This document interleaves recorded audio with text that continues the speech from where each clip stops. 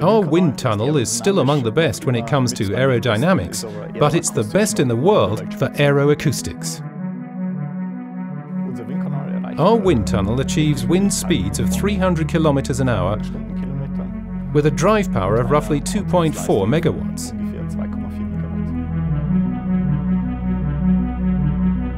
About half the tests we perform concern aeroacoustics, that is, wind noises, those vehicle noises that are caused by the slipstream.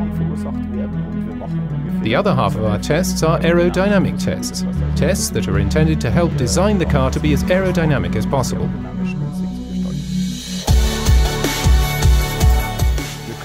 We can reach this wind speed in roughly 20 seconds.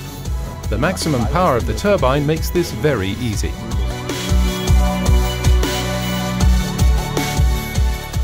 The possibilities we have here are unique. The greatest benefit is simply the longer amount of time. You can try out different things here in just one flight. During an actual jump, it's over before you know it.